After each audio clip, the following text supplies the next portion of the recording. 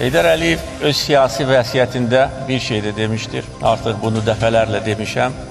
Azərbaycan xalqı da bilir ki, başa çatdıra bilmədiyimiz işləri davamçılarımız başa çatdıracaq. Onların arasında yəqin ki, mən belə hesab edirəm, ilk növbədə Qarabağ probleminin həllini nəzərdə tuturuq.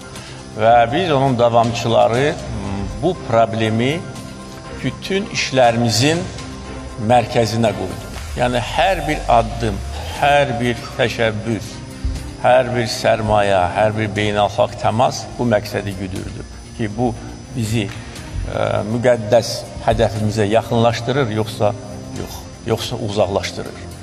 Ona görə bütün işlərimizin mahiyyəti məhz bu idi. Qarabağı azad etmək, tarixi ədaləti bərpa etmək. Və bu hədəfə doğru biz gedirdik.